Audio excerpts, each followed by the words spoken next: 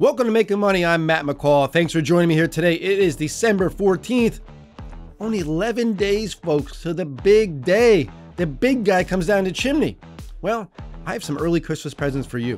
I have four stocks, all under $2 billion valuation each in the service sector that is looking strong. And I have a great chart to tell you why these stocks are set to take off. We're going to talk inflation. We're going to talk the Fed meeting this week, today, and tomorrow. So much more coming up right now on Making Money.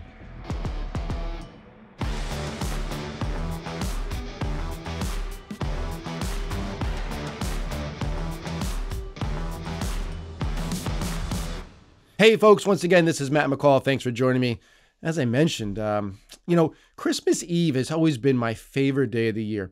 I think as a kid going back, all my family would get together at my grandparents' house. We go to church and then we go there and it's funny, you know, I, I talk about my blue collar upbringing a lot. And I think that's important because it shows, you know, hard work will get you a lot of places. You know, we never talked about the stock market ever in my family. Uh, maybe because my grandfather and a lot of my family members worked at Bethlehem Steel, which was once a Dow 30 stock and then went bankrupt. So I don't think the stock market treated them that well. Maybe that's why we didn't discuss it. But that Christmas Eve I always loved because I saw cousins I only saw like once or twice a year from all over the place. But we'd go to church and the church was maybe a half mile away from my grandparents' house. I also went to school there, you know, little town. We would sprint back because the big thing was that there was shrimp, you know, the, the cocktail shrimp. But because you had a bunch of growing boys, all kinds of cousins, uncles, there wasn't a lot. We only could only afford so much. So if you weren't there first to get in line for that shrimp cocktail, you weren't eating shrimp cocktail till next year. So it's funny how it brings back those memories. So I hope everybody is getting ready for the big holiday season. Uh, as I mentioned, 10 days away from the big Christmas Eve. But today, let's talk about the markets. Uh, we're going to talk about the continued volatility, the continued pullback we're seeing in some of the technology companies. Uh, this morning, we had another inflation number come out. I'm going to dive into that for you. And then we're going to talk about four stocks that fall into what we call the sectors and the consumer area, which is kind of nice setting up for Christmas. Also, I have a chart that show you exactly why I'm so bullish on that sector right now. So let's dive into it here first. And I'm going to pull up a chart of the uh, S&P 500 here for you. We're down about eh, six tenths of percent on the S&P 500 here today. And uh, I'm zoomed out a little bit here. I'm going to zoom in a little bit further here for you. As you can see, we're pulling back. We're near the lows of the session right now. And a big reason for that is the inflation number I'm going to talk about here in a moment. But I also want to take a look at uh, another chart, and this is the ARK Innovation ETF, ARKK. And the reason I'm showing you this, even though it's only down a half percent kind of with the market today, you can see if it closes here, it'd be the lowest close in about 13 months. And that means something. Uh, that just shows the weakness that we have seen. When we talk about the markets, folks, you know, and, and I'm, I'm guilty of this as well. You know, I talk about the S&P 500, the NASDAQ, the Dow, the Russell 2000. All the major averages only a few percentage points off an all-time high. But I just showed you the ARK, the ARKK. That's down over 25% off an all time high. That is now in officially a bear market. So that is important to keep in mind because even though the, the overall market is not getting hit as much, a lot of your growth stocks probably are. And that's why you want to be diversified. You want to put all your eggs in one basket. You don't want to have all smoke, small cap growth stocks. You don't want to have all tech stocks. You want to have some bellwethers in there. You want to have some other asset classes, whether it be real estate or REITs, um, maybe some cryptocurrencies, which they're pulling back as well. But you want to have diversification because over time, that's what happens. I've seen a lot of tweets come out recently. Uh, and if you want to follow me on Twitter, it's at Matthew McCall. Uh, a lot of tweets come out recently and comments here uh, on the YouTube page about, oh, Matt, you know, your stocks that you've recommended recently, uh, you know, at my old company, they're down, they're down. Listen, folks, when I put out these recommendations, I always say three, five, seven years, if not longer. These are long term themes that take time to play out. I don't know where stocks are going in three months or six months, even a year. So many things can happen. So many outside factors can move stocks. Companies get to valuations that are overvalued and they pull back and become very undervalued. I'm going to talk about that in a moment as well.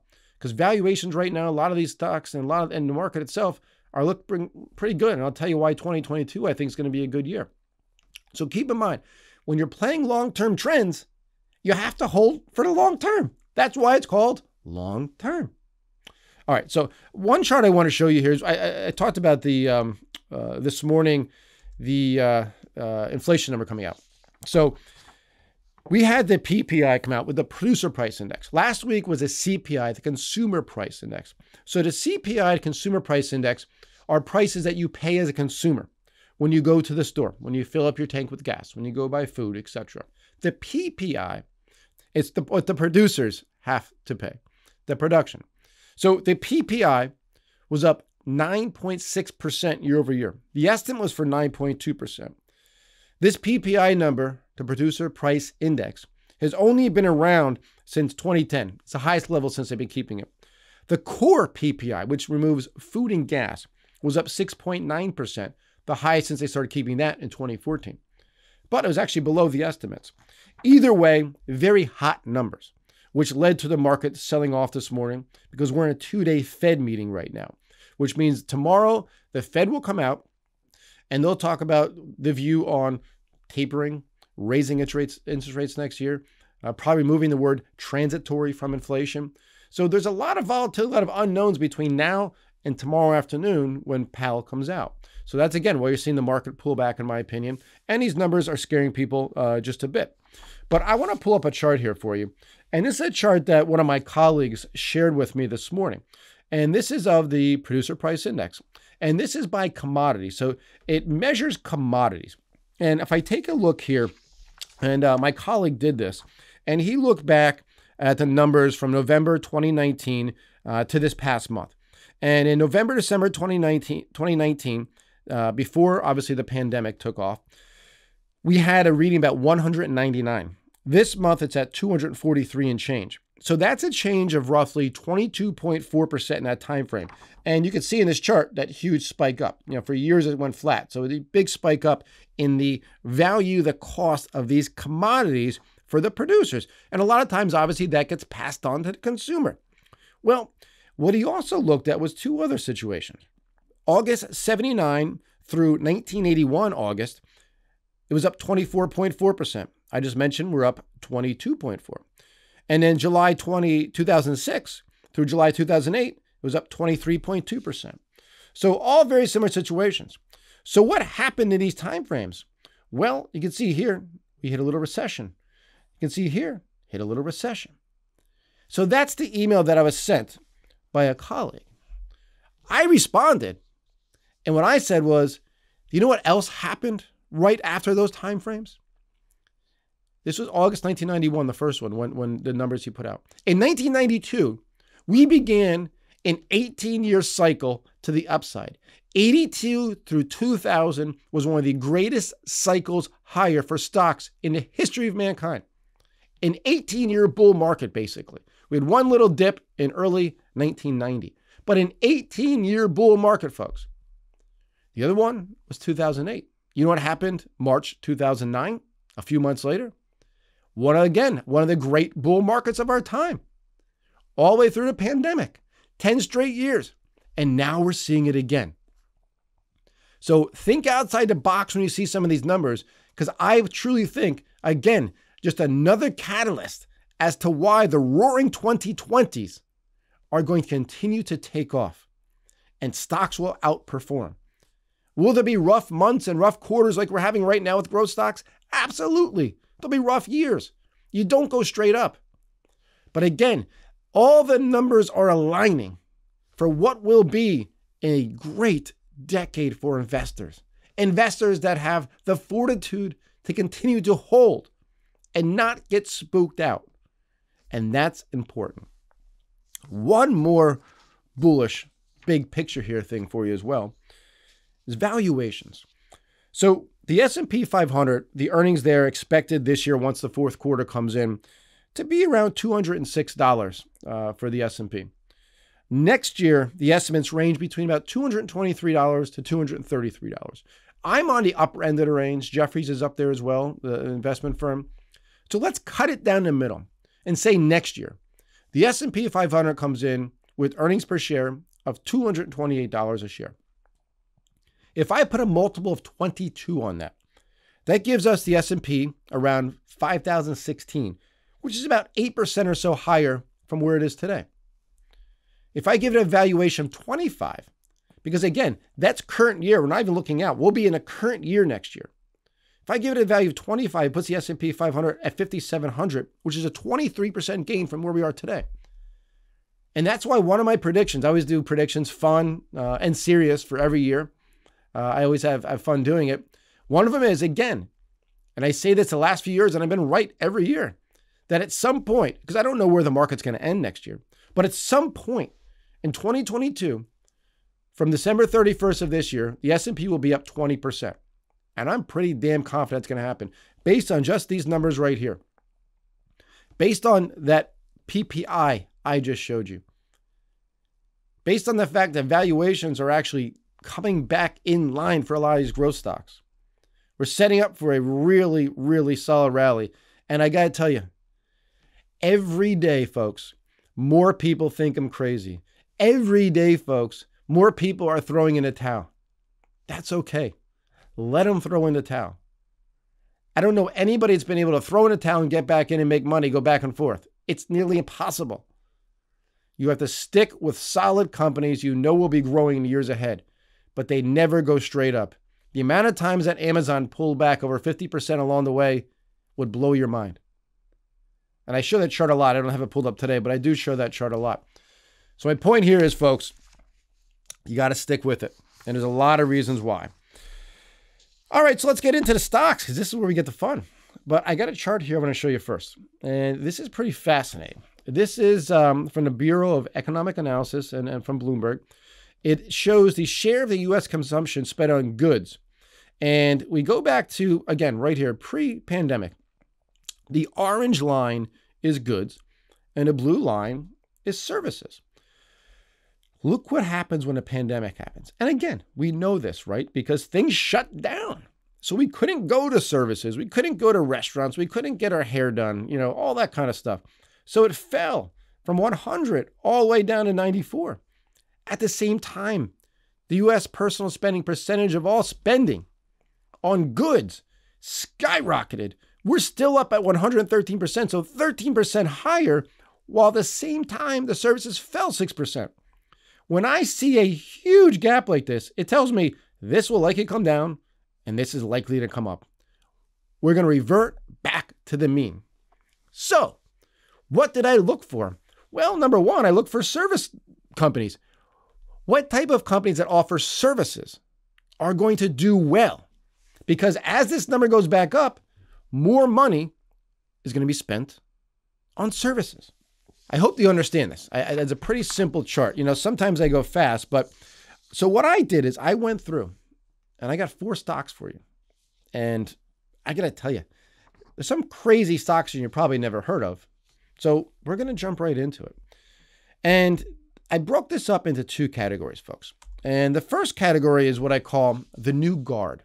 And the reason I call it the new guard is because they're two newly IPO'd companies there are two companies that are really kind of upending uh, other companies. There are two companies that are following a bigger trend, which is we, we always want that to be part of a mega trend, because that, that helps what we call the TAM, the total addressable market. If it's going after the big fish, let's say, better chance of making big money, right? More upside potential. So let's move on here to company number one. And this company is Brilliant Earth. Its symbol's BRLT. If you've never heard of this company, it's fascinating. I knew about this for a while. It just went public back in September. It's basically a, a next gen jewelry company. They focus on a supply chain of transparency. So basically, all their diamonds are non blood diamonds. You know, you probably all saw the movie uh, with Leonardo DiCaprio, Blood Diamond. Well, fantastic movie. I'm a big Leo fan. I think he could pull off so many different, um, you know, different actors, different things. And I got to tell you, if you if I had to pick somebody else's life, I love my life. I would probably take him. I mean, that guy dates every model around the world. I mean, I don't think his life's that bad, folks. He's got a dad bod. His hair's going away, but it suddenly grows back.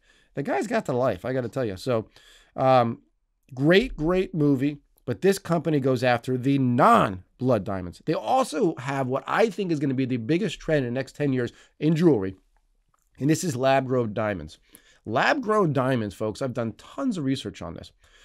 You know, there's cubic zirconiums, and that's not a diamond. It's just you know some type of glass or whatever. Um, a lab-grown diamond, you actually could put under a microscope, and most jewelers can't tell the difference because it's grown just as a, a diamond grows in the earth. It's grown though in a lab. Fascinating. You don't have people getting paid pennies a day working their tails off in really unsavory countries to come up with diamonds that are sold for tens of, not hundreds of thousands of dollars. These are grown in a lab, and I think the more and more younger generation's okay with that. It's a $1.8 billion company. You know, they, they call themselves really the most ethical and environmentally responsible jewelry store. I get it. It's a very modern and digital experience. Uh, 15 stores right now. They just opened four new showrooms in 2000, or sorry, in uh, third quarter.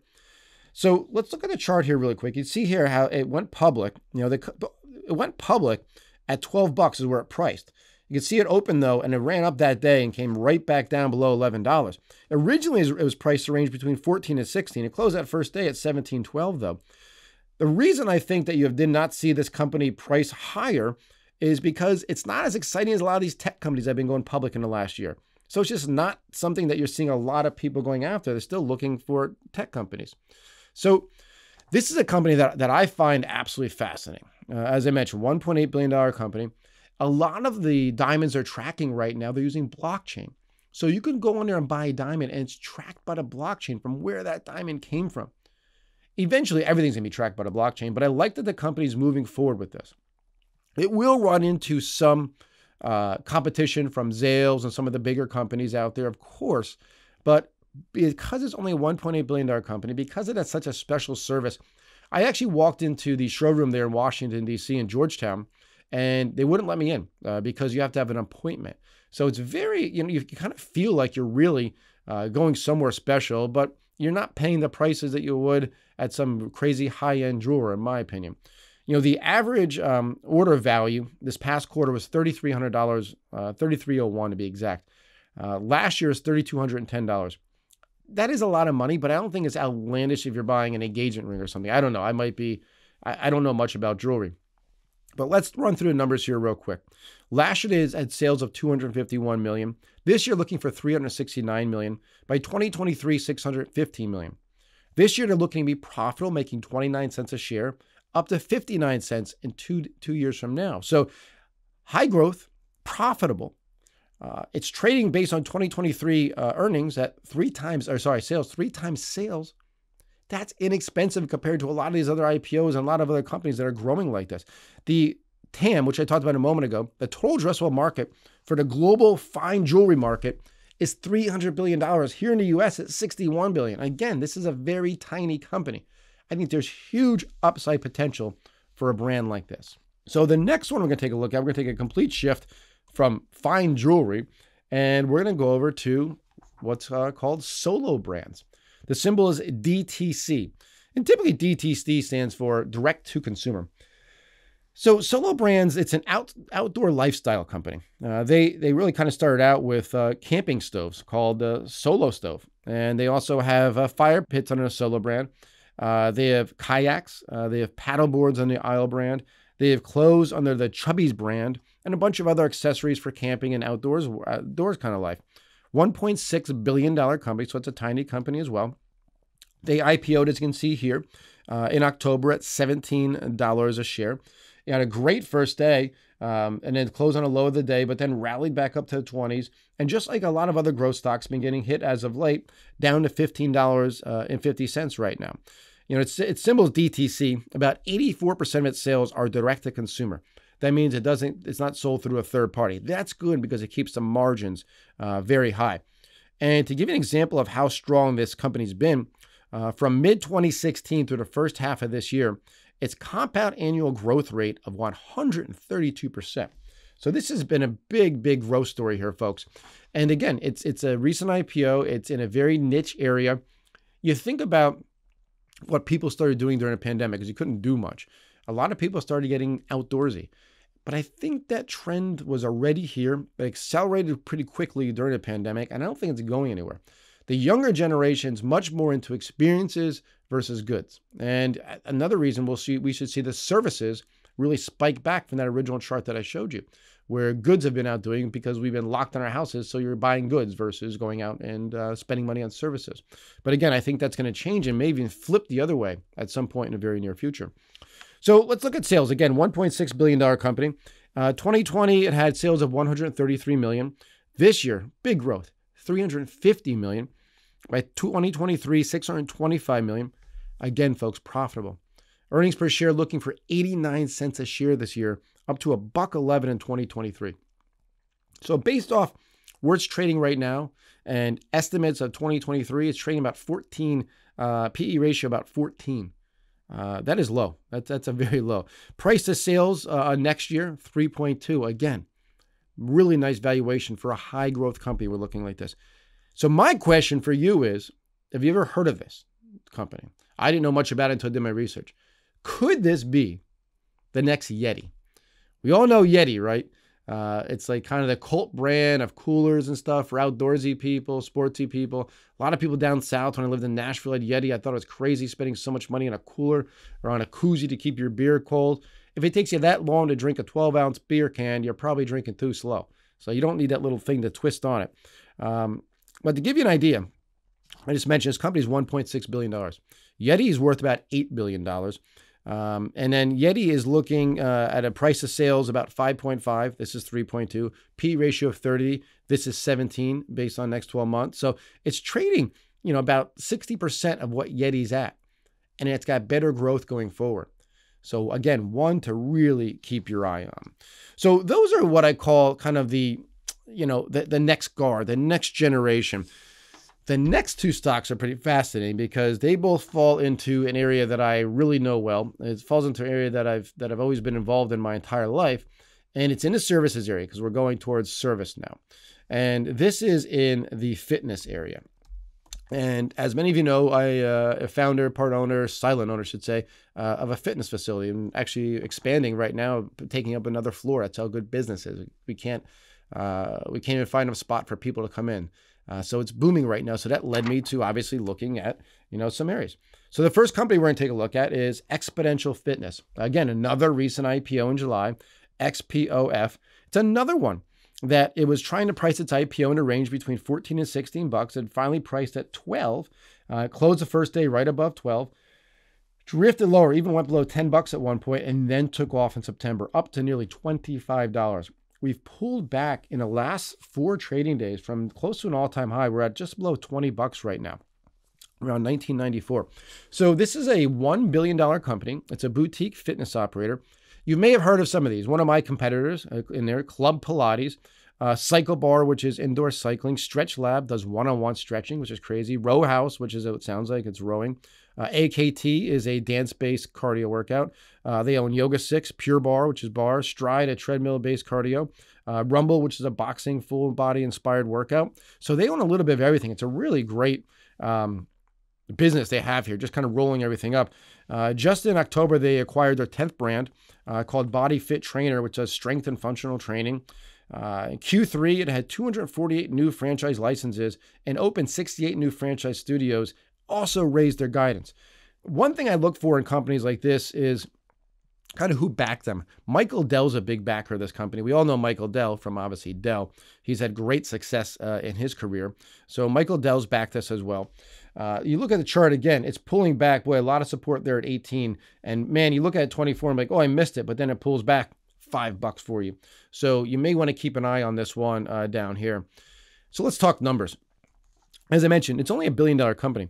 Uh, last year did sales of about 106 million. This year looking for 148. By 2023, 232 million. So not huge growth, but good enough growth.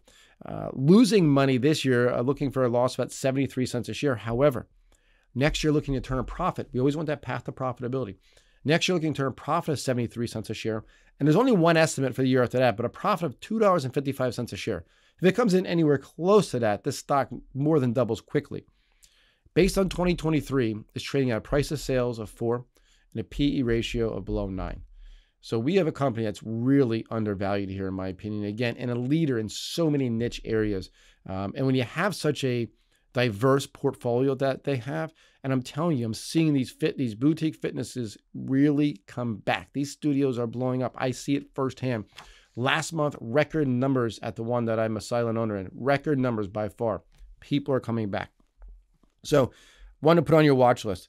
So, um, another one that I'm going to take a look at is one that I have a personal story I'll share with you here. Again, another recent IPO. This company originally was going to go IPO through a SPAC, fell apart, and then it went the traditional way. And this company, as you'll see here in a moment, is uh, F45 Training Holdings, uh, so known as F45. You may have some in your in your town. They're all over the world. Uh, the first one I ever went to actually was in London, in Piccadilly. Uh, symbols FXLV. It's a one billion dollar company as well. Uh, the F stands for functional. It's functional 45 minute workout. So they're freaking fantastic. It started in Australia. Uh, so this one's backed. You know, the one's backed by Michael Dell. This one is backed by Mark Wahlberg. For those of you who don't know Mark Wahlberg, He's the Mark Wahlberg of Marky Mark and the Funky Bunch. According to Entrepreneur Magazine, it's the fastest growing franchisor in the world right now. Uh, they have 1,400 sold franchises that aren't even open yet. Uh, they have collaborations with U.S. military. Uh, they also have one with OneSpaWorld. So they have the, the stuff on ships. So they're on cruise ships now.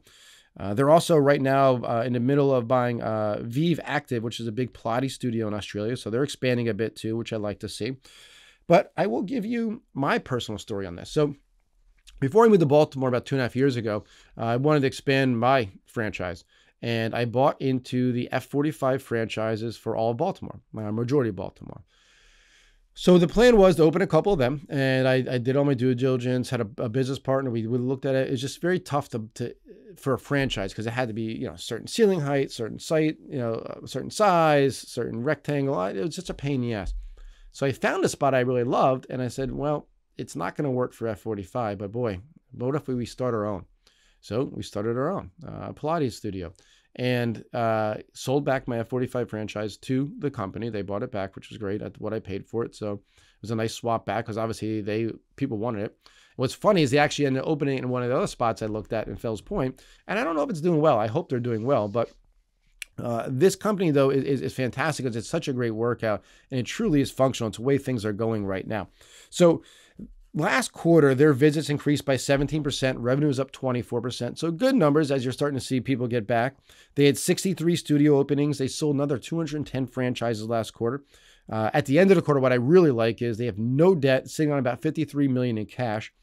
And you look at a 2021 full year estimates, new franchises sold between 830 850 Studio openings between 240 and 260. Last year they had sales of 82 million. This year looking for 133. Next year 263. The year after that 327. Again, path to profitability. This year looking to lose 43 cents a share, but by 2023 making a buck a share. So based on 2023, price of sales of 3, PE ratio of 11. Where are you going to find these types of numbers in a fast growing trend? and a solid leader. Both these companies are leaders in this trend. You know, and again, I, I I'm giving you firsthand of what I see. I'm in this business. I see it. I see how the numbers are, are doing. I see the demand for it. And again, when you come out of a recession or a shutdown or anything like that, typically you are going to see the strong survive. And the companies that make it through those rough times typically come out very, very strong on the other end. Uh, I, feel blessed that the, the company I have was able to come through it because I think if I had an F45 and opened it before the pandemic, it'd be tough to come through it. So uh, I feel blessed, and I'm blessed for the other companies that made it through too. Pat yourselves on the back because it's not hard, not easy to come through there. You make it through the tough times, and there's only so many. And now it's supply and demand, folks.